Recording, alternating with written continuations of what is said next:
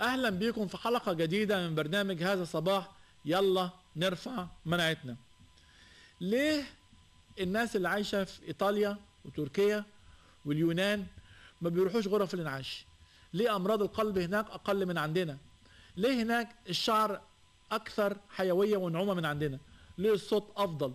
ليه الأداء العقلي عندهم أفضل من عندنا؟ ليه الأداء العضلي عنده أفضل من عندنا؟ ليه أمراضهم أقل من عندنا؟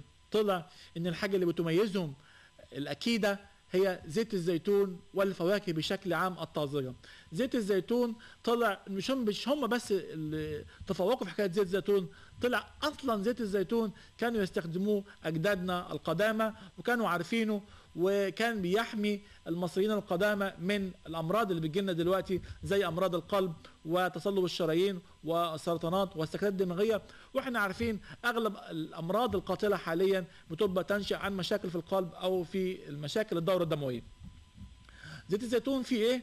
في 77 مركب طيار تكسبه النكهة المميزة. في غني مضاد أكسدة مش بس واحد أو اتنين ده في 30 يعني بدل ما أروح الصيدلية وأشتري مضاد أكسدة غالي ومستورد غالي جدا أشتري أنا زيت الزيتون اللي فيه أصلا 30 مضاد أكسدة. 30 مادة هتمنع السرطان 30 مادة هتخليني ما يجينيش التهابات كتيرة 30 مادة هتخليني أكثر مناعة مش هيبقى عندي نوع من تراكم الدهون الضارة داخل الجسم ولا داخل الشرايين.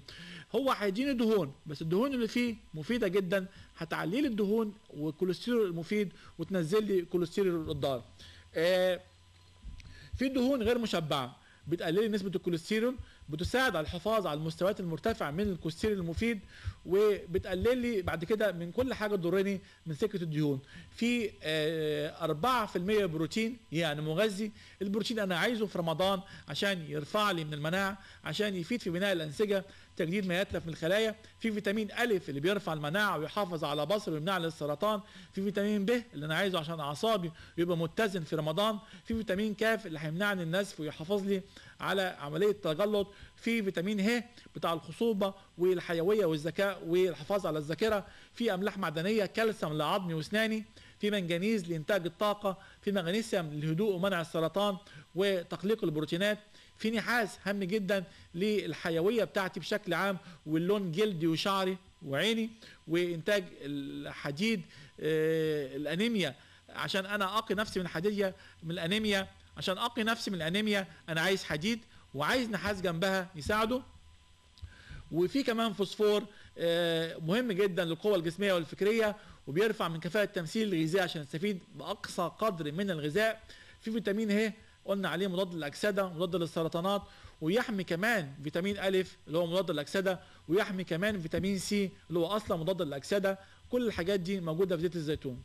يبقى في زيت الزيتون زيت الزيتون. يبقى زيت الزيتون هيحميني من أمراض القلب الإصابة بالنوبات القلبية تصلب الشرايين هيخفض ضغط الدم المرتفع يحمي من الإصابة بالقرحة يحمي من التهابات المعدة يقلل من الإصابة بسرطان الثدي وسرطان البروستاتا وسرطان القولون مضاد حيوي طبيعي يقيني من الالتهابات بصورة مجانية. مضاد حيوي طبيعي يقيني من الالتهابات بصورة مجانية. مقوي المناعة يقوي البصر يساعد على النمو يفتح الشهية يسهل الهضم يمنع الامساك ينشط الكبد ويدر الآثار الصفراوية الهامة جدا لهضم وامتصاص الدهون والفيتامينات التي تذوب في الدهون. يؤخر الشيخوخة يحمي من النسيان يؤخر الزهايمر يمنع تساقط الشعر ويكسبه اللمعان والحيوية. الحاجات دي كلها زيت الزيتون. هناكله إزاي؟ هناكله في ناس بتشربه. برافو عليهم. في ناس بيحطوه على السلطة. كويس. حطوه على الفول حطوه على البطاطس المسلوقة حطوه على أي حاجة تعملوها معلقه للصغار معلقتين للكبار واللي عايز يكتر مش هينضر. في ناس أحيانا بيتسخنوا بس لو سخناه مش هنسخنه درجة حرارة عالية ودرجة حرارة معتدلة وفترة قليلة ويفضل إن هو ناكله بارد بدون تسخين. ممكن ناخده كمان مع البيض المسلوق وممكن كمان عشان زيادة الحيوية وتأخير الشيخوخة إن إحنا مش بس نشربه إن إحنا ندهن وشنا بيه ندهن جلدنا بيه. ده بيحافظ على الشيخوخة مرتين ثلاثة في الأسبوع. هتلاقي الواحد بعد كده يبدو أصغر من عمره عشان زيت الزيتون.